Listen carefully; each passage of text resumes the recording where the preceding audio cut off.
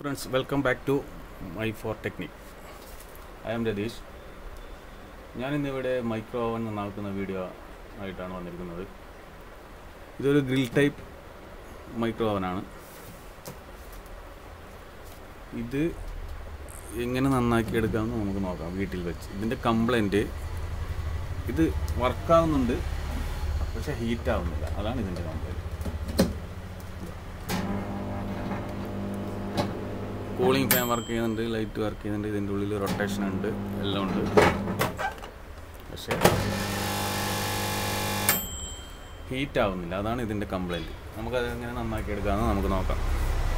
ആദ്യം ഇതിന്റെ power supply വേണം പിന്നെ വേറെ പ്രത്യേകിച്ച് അത്യാവശ്യം ഇലക്ട്രിക്കൽ ഇലക്ട്രോണിക്സ് വർക്ക് അറിയുന്നവർ മാത്രമേ ഇത് നന്നാക്കിയെടുക്കാൻ പാടുള്ളൂ. ഇതിന്റെ അകത്ത് ഹൈ വോൾട്ട് കറണ്ടാണ് ഔട്ട്പുട്ട് വരുന്നത്. രണ്ടായിരം വോൾട്ട് കറണ്ടാണ് ഔട്ട്പുട്ട് വരുന്നത്. സൂക്ഷിച്ച് അറിയാത്തവർ ഒരിക്കലും ഇതിന്റെ അകത്ത് കൈയിടരുത്.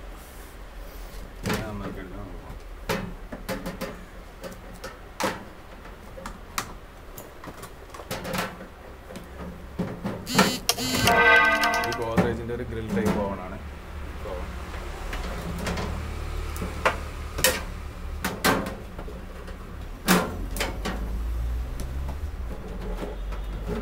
ആദ്യം ഇതോട് എടുക്കാം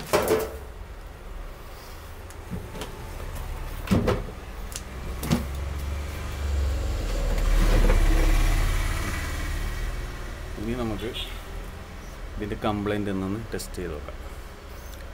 ഇതാണ് ഇതിന്റെ മാഗ്നട്രോൺ ഇതാണ് ഹീറ്റിംഗ് ചെയ്യുന്ന മെയിൻ ഇമ്പോർട്ടന്റ് ആയ സാധനം മാഗ്നട്രോൺ ഇത് ഇതിന്റെ cooling fan capacitor diode fuse ഇതാണ് ഹൈ വോൾട്ട് ട്രാൻസ്ഫോമർ ഈ ട്രാൻസ്ഫോമറിൽ നിന്ന് ഔട്ട്പുട്ട് വരുന്നത് രണ്ടായിരം വോൾട്ട് കറണ്ടാണ് സൂക്ഷിച്ചായിരിക്കണം ഇത് വർക്ക് ചെയ്യുമ്പോൾ. അത്യാവശ്യം വർക്ക് അറിയുന്നവരായിരിക്കണം. ഇതിനകത്ത് കൈയിടാനോ ടെസ്റ്റ് ചെയ്യാനോ നോക്കാം. പിന്നെ P C B front panel bulb door switch അതിനകത്തുള്ള റൊട്ടേഷനുള്ള മോട്ടർ ഇത്ര സാധനമാണ് ഈ മൈക്രോ ഓവണിനകത്ത് ഉള്ളത്. അപ്പോൾ ഇത് ഹീറ്റാവാത്ത കാരണം എന്താണെന്ന് നമുക്ക് ടെസ്റ്റ് ചെയ്ത് നോക്കാം. ഹീറ്റ് ആവാതിരിക്കാൻ പല കാരണവും ഉണ്ടാവും. അപ്പോൾ നമ്മൾ ആദ്യം എന്ത് ചെയ്യണമെന്ന് വെച്ചാൽ മൈക്രോ ഇതിന്റെ മാഗ്നട്രോണിലേക്ക് വരുന്ന സപ്ലൈ പെർഫെക്റ്റ് ആണോ എന്ന് ടെസ്റ്റ് ചെയ്ത് നോക്കാം. അതെങ്ങനെയാണെന്ന് നമുക്കിപ്പോൾ ടെസ്റ്റ് ചെയ്ത് നോക്കാം കേട്ടോ. സൂക്ഷിച്ച് ചെയ്യണം. നമുക്കിത് പവർ സപ്ലൈ കൊടുത്ത് ഓൺ ചെയ്ത് നോക്കാം. ഓൺ ചെയ്തതിനു ശേഷം ഇതിന്റെ അകത്ത് കൈയിടാനൊന്നും പാടില്ല. ടെക്നീഷ്യന്മാരാകുമ്പോൾ അത് അവർക്ക് അറിയാൻ പറ്റും എങ്ങനെയെന്ന്.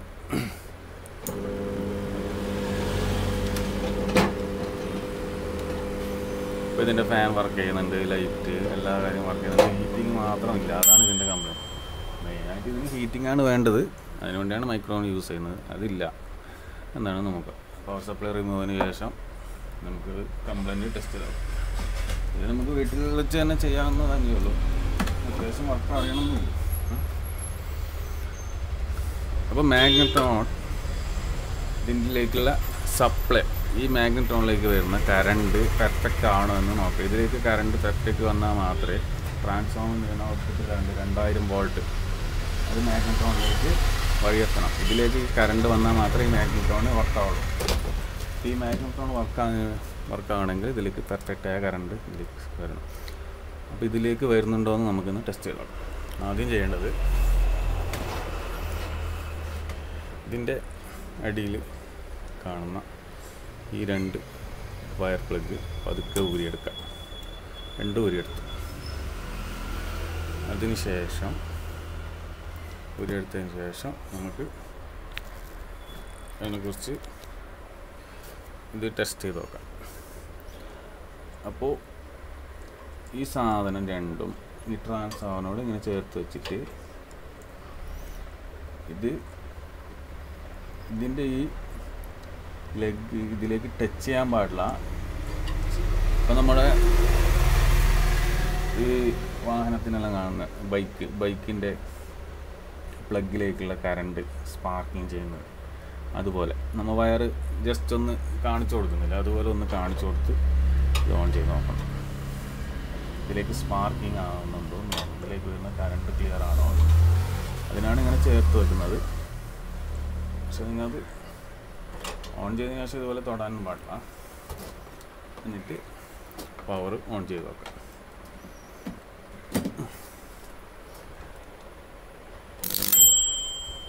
കേട്ടോ സ്പാർക്കിങ് നടക്കുന്നുണ്ടോ അപ്പോൾ ഇതിലേക്കുള്ള കറണ്ട് മാഗ്നറ്റോണിലേക്കുള്ള കരണ്ട് പെർഫെക്റ്റ് ആണ്. അപ്പോൾ ഇതിന്റെ complaint magnetron magnet magnetron complaint ആയതുകൊണ്ടാണ് ഇത് ഹീറ്റ് ആവാത്തത്. ഇപ്പോൾ നിങ്ങൾക്ക് മനസ്സിലായില്ലേ? ഇതിന്റെ ഇതിലേക്കുള്ള കറണ്ട് പക്ക ക്ലിയറാണ് അതുകൊണ്ടാണ് സ്പാർക്കിങ് ക്ലിയർ ആയിട്ട്. അപ്പോൾ ഞാനിപ്പോൾ കറണ്ട് ഊരിയതിന് ശേഷമാണ് ഇത് ടച്ച് ചെയ്യുന്നത്. കറണ്ട് ഊരിയതിന് ശേഷം ഇതുപോലെ ടച്ച് ചെയ്യാൻ പാടില്ല. അതിന് ശേഷം നമുക്ക് ഈ മാഗ്നറ്റാണ് ഊരിയെടുക്കുന്നത്. ഇതിന്റെ സൈഡ് സ്ക്രൂ കൊണ്ടുപോകും ഇതിന് മാഗ്നറ്റോൺ മാറ്റി വെച്ച് കഴിഞ്ഞാൽ ഇതിന്റെ കംപ്ലൈന്റ് റെഡി ആയി പക്ഷെ മാഗ്നറ്റോൺ സെയിം തന്നെ ആയിരിക്കണം അതിന്റെ വോൾട്ടും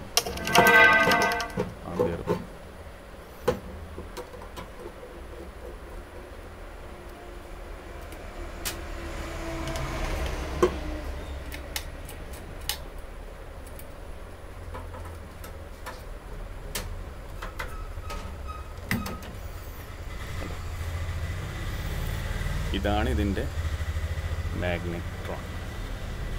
ഇതിൽ നിന്ന് വരുന്ന ഇൻഡക്ഷൻ അതാണ് ഇത് ചൂടാക്കുന്നത്. നമ്മൾ ഇൻഡക്ഷൻ കുക്കർ ഇൻഡക്ഷൻ കുക്കർ. അതുപോലത്തെ സിസ്റ്റം അതും ഇതുപോലത്തെ ഒരു സിസ്റ്റം തന്നെ ഇതിൽ നിന്ന് ഇൻഡക്ഷൻ പവറാണ് ഇതിനെ ഹീറ്റ് ചെയ്യുന്നത്. ഈ സാധനം കംപ്ലൈന്റ് ആയി. ഇത് നിങ്ങൾക്ക് മാറ്റി വെച്ചാൽ ഇത് ക്ലിയറായി